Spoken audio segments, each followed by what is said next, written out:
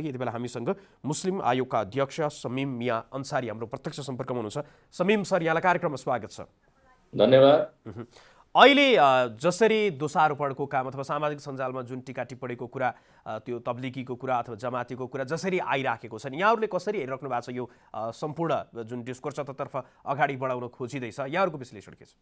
अवश्य पनि हामी यसप्रति एकदमै गम्भीर छौँ र मुस्लिम आयोगले यसअघि नै लकडाउन पश्चात चाहिँ मुस्लिम समुदायलाई सचेत गराउने काम चाहिँ गरिरहेको अवस्था छ।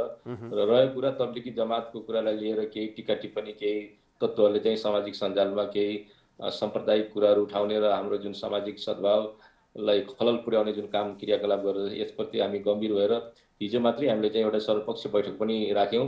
र त्यो बैठकले चाहिँ हामीले चाहिँ जिल्लैभरि एउटा चाहिँ समन्वयन गरेर अनुगमन टिम पनि हामीले तयार गर्ने निर्णय गर्यौँ। र केन्द्र लेभलमा मेरै अध्यक्षतामा चाहिँ सात सदस्यीय चाहिँ त्यो कमिटी गठन भएछ भने आज चाहिँ जिल्लाभरि नै समन्वयन के अरे त्यो के अरे हाम्रो अनुगमन समिति गठन हुन्छ। र त्यो समितिले चाहिँ जिल्ला प्रशासन कार्यालय प्रमुख र जिल्ला प्रहरी कार्यालय प्रमुखसँग मिलेर अझ सरकारलाई सहयोग गर्ने हिसाबले सम्पूर्ण मस्जिद मदरसा लगायत ठाउँमा अनुगमन गर्ने र जुन यो लकडाउनको पूर्ण रूपमा यदि कसैले पालना गरेको छैन भने त्यसलाई पनि पालना गराउनको लागि त्यो कमिटीले काम गर्छ। यी यथावत कुराहरू हामीले चाहिँ गर्दै गइरहेछौँ र जमातीको विषयमा जमाती अगुवालाई पनि हिजो हामीले चाहिँ बोलाएर दुई दिनभित्र सम्पूर्ण विवरण चाहिँ जति यदि अझै पनि कोही छुटपुट भएछ भने त्यसको चाहिँ दुई दिनभित्र चाहिँ आयोगमा सम्पूर्ण विवरण चाहिँ दिनको लागि निर्देशन पनि गरेको अवस्था छ। र पछिल्लो समयमा जुन जमातीमाथि आरोप अथवा मुस्लिम समुदायमाथि आरोप लागेको त्यसप्रति म अत्यन्तै दुखित र गम्भीर छु। किनभने यो बिल्कुलै गलत आरोप हो। किनभने यो कोरोना भाइरस भनेको कुनै जात जातिलाई लक्षित गरेर आउने चाहिँ भाइरस होइन। र यसप्रति सिङ्गो देशलाई नै अहिले सङ्कट परेको बेलामा सम्पूर्ण जात जाति नभनिकन सम्पूर्ण नेपाली मिलेर यसलाई कसरी चाहिँ यो महामारीको सङ्कटबाट हामी जोगिने र देशलाई जोगाउनेतिर हामी लाग्नुपर्छ यसप्रति हामी गम्भीर हुनुपर्छ न त अहिलेको समयमा कुनै जात जाति धर्मलाई लिएर कुरा गर्ने समय होइन यो। र कोही पनि आजको आजको दिनसम्म भन्छु यदि जुन जमातीहरू हुनुहुन्छ उहाँहरूको चाहिँ वार्षिक रुटिनको हिसाबले। कुनै यो नैला नौलो चाहिँ विषय होइन। यो जमात भनेको कुनै नौलो योपालि चाहिँ भेट्यो र आएको पनि होइन। यो लगभग नब्बे पन्चानब्बे वर्ष पुरानो एउटा चाहिँ यो तब्लिकी जमातको जुन एउटा चाहिँ चलिरहेको हो। र यसै अनुरूप चाहिँ लकडाउन हुनुभन्दा अगाडि नै उहाँहरू आउनुभएको र विभिन्न मस्जिदहरूमा चाहिँ अचानक लकडाउन भयो र उहाँहरू जो जहाँ भयो उहाँहरू फस्नु भएको। यो कुनै लुकेर बसेको अवस्था चाहिँ होइन। यसमा म प्रश्न गर्न चाहन्छु यो विषयलाई। किनभने कतिपय आरोप लागिरहेको छ कि उहाँहरू लुकेर बसेको मस्जिद मदरसामा यो बिल्कुलै गलत हो। किनभने न लुक्नु भएछ न छिप्नु भएछ न कसैले लुकाएको अवस्था छ। जो जहाँ थियो त्यो फँसेको अवस्था हो। र फँसेको व्यक्तिलाई अलरेडी के अरे जिल्ला प्रशासन कार्यालयमा उहाँहरूको सबै चाहिँ विवरण पनि पठाइसकेको अवस्था छ दिइसकेको जानकारी गराइसकेको अवस्था छ। यसप्रति म के भन्न चाहन्छु भने कोही पनि लुकेर बसेको छैन चाहे मस्जिदमा चाहे मदरसामा चाहे मन्दिरमा होइन? हरेक जात जातिको आफ्नो आफ्नो आस्था हुन्छ त्यसको चाहिँ कसैको आस्थामाथि कसैले चोट पुर्याउनु चाहिँ हुँदैन। म यो आग्रह गर्न चाहन्छु। यहाँले जुन भन्नु भने लुकेको छैन अथवा जो लकडाउनको स्थितिमा पनि उताबाट आएको होइन पहिलेदेखिकै त्यो चलिराखेको हो र लकडाउनले गर्दाखेरि त्यहाँ रोकिएको मात्रै हो भन्दै गर्दाखेरि फेरि विभिन्न प्रश्नहरू यो लुकेको भन्दा पनि लुकाइएको अथवा उताबाट आइराखेका छन् अथवा यो नेपालमा भन्दा पनि भारतीय मिडियाबाट जसरी कुराहरू आइराखेका छ उनीहरूको त्यो प्रभाव नेपाली क्षेत्रमा परेका कारणले गर्दाखेरि पनि होला उनीहरूको झन् त्यो प्रोपागान्डा तरिकाले चाहिँ अगाडि बढाइराखेको भारतमा जुन हिन्दू मुस्लिम बिचको जुन प्रकारको त्यो डिबेट त्यहाँका मिडियाहरूमा सञ्चालित हुन्छ त्यही प्रकृतिको फेरि नेपालमा पनि सञ्चालन भइराखेको हो कि भन्ने कोडबाट पनि कुराहरू आइराखेका छ। हामी त्यसबाट चाहिँ कसरी सतर्क सजग हुनुपर्छ? भारतको मिडियाले अब कुन हिसाबले अगाडि बढिरहेछ त्यसप्रति हामीलाई कुनै टिका टिप्पणी गर्नु छैन। किनभने भारत र नेपालको सम्बन्ध अत्यन्तै एउटा चाहिँ मित्रताको सम्बन्ध छ।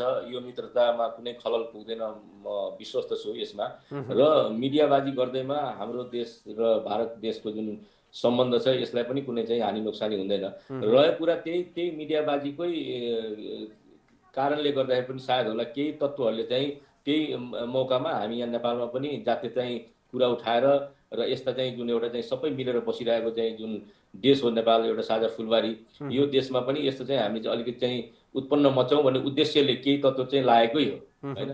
त्यही त्यसप्रति हामी गम्भीर भएर मैले अघि पनि भने जो आए तापनि लुकेर आएको होइन एक त। र लकडाउनमा सिङ्गो देश लकडाउन छ र त्यसपछि जुन हाम्रा हरेक बोर्डरमा सुरक्षा निकायहरू एकदम चनाखो भएर चाहिँ अहिले चाहिँ ड्युटी गरिराख्नु भएको अवस्था छ। र न कुनै गाडी चलेको अवस्था छ। भनेपछि लकडाउनको समयमा कोही यदि आउँछ भने त्यो मुस्लिम समुदाय त्यसको चाहिँ जवाबदेही होइन। होइन?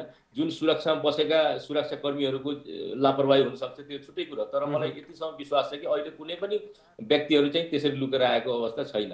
मैले अघि पनि भने अहिले उहाँहरूको जुन ट्राभल हिस्ट्रीहरू हेर्दाखेरि जिल्ला प्रशासन कार्यालय प्रहरी जिल्ला प्रहरी कार्यालयले सबै उहाँहरूको जुन ट्राभल हिस्ट्रीहरू हेऱ्यो त्यो चाहिँ लगभग तिन महिना चार महिना अगाडि चाहिँ के अरे नेपालमा भित्रेको चाहिँ बुझियो। भनेपछि त पक्कै पनि उहाँहरू चाहिँ अहिले पछिल्लो समयमा लकडाउनको समयमा आउनुभएको चाहिँ होइन न त कसैले लुगाएको अवस्था हो। यो हामी पहिला क्लियर हौ। रहेको कुरा वीरगञ्जको र उदयपुरको कुरा यो पनि अलरेडी पहिल्यै प्रशासनलाई जानकारी छ उहाँहरू त्यहाँ बसिराख्नु भएको छ प्रशासनको निगरानीमा छ। भनेपछि अहिले लुकाएको र लुकेको भन्ने त शब्दै आउँदैन। मैले अघि पनि भने हरेक धर्मको एउटा आफ्नो चाहिँ आस्था हुन्छ र हरेक धर्म चाहिँ मान्ने सबैलाई मौलिक अधिकार पनि छ र त्यही अनुरूप त्यो चाहिँ जमातीहरू चाहिँ उहाँहरू चाहिँ आउनुभयो र लकडाउन पश्चात उहाँहरू चाहिँ फस्नु भएको यो अहिले आजको दिनमा जो ब, लाई चाहिँ अहिले आइसोलेसनमा राखिएको छ उहाँहरूले त्यो कन्ट्याक्ट ट्रेसिङको कुरामा अथवा अन्य कुराहरूमा पनि प्रहरी प्रशासनसँग सहयोग नगरिराखेको भन्ने कोणबाट पनि केही खबरहरू सम्प्रेषित भइराखेका छन्। त्यो हल्ला मात्रै हो कि यथार्थ पनि हो कि अथवा त्यस्तो रहेछ भने त्यसलाई समन्वय गर्नको लागि यहाँहरूले के गरिराख्नु भएको छ त्यो विषयमा पनि बताइदिनुहोस् न।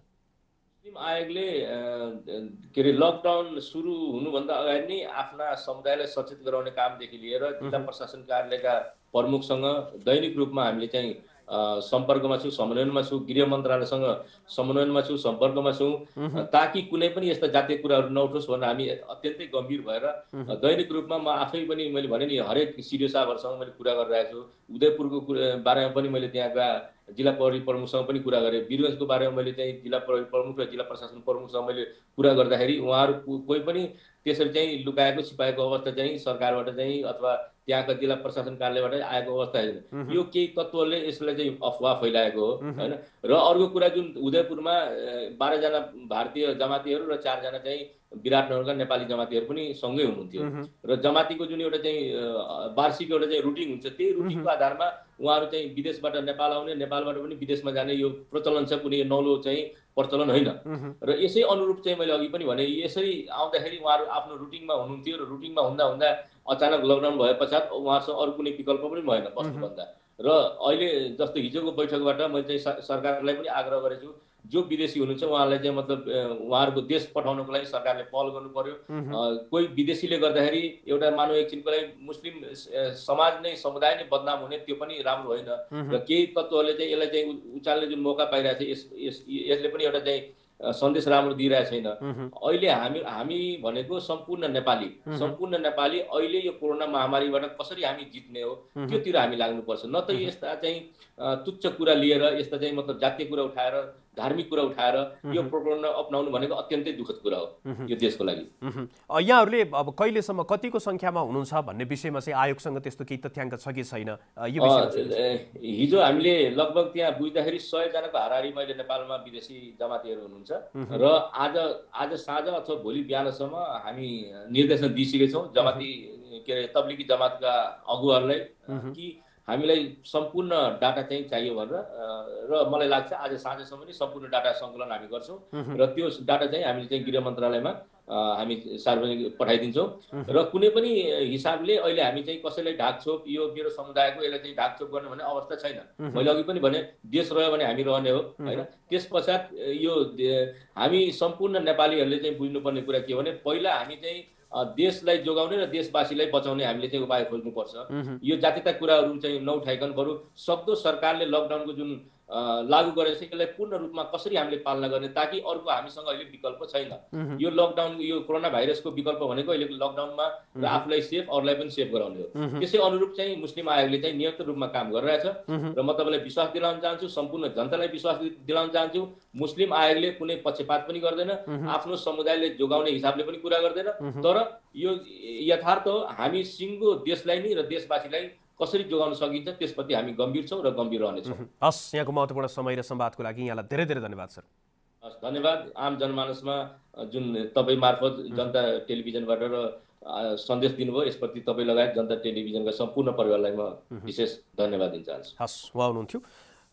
मुस्लिम आयोगका अध्यक्ष समिम मिया अन्सारी। उहाँसँग हामीले पछिल्लो समय भारतबाट आएका जमातीहरू कोरोनाको सङ्क्रमण देखिँदै गर्दा र उनीहरूले चाहिँ सरकारलाई असहयोग गरिराखेको भन्ने कुरा आइराख्दाखेरि मुस्लिम आयोगले यो सम्पूर्ण प्रक्रियालाई कसरी निहालिराखेको छ र नेपालभित्रको जुन धार्मिक सहिष्णुताको स्थिति आजसम्म कायम रहेको छ यसलाई हामीले कायम राख्नको लागि र कोरोना विरुद्धमा यो जात जाति भाषाभाषी लगायतमा चाहिँ विभाजित नभइकन एकजुट भएर एउटा देशको रूपमा चाहिँ हामी कसरी अगाडि बढ्न सक्छौँ भन्ने विषयमा नै हामीले संवाद गऱ्यौँ।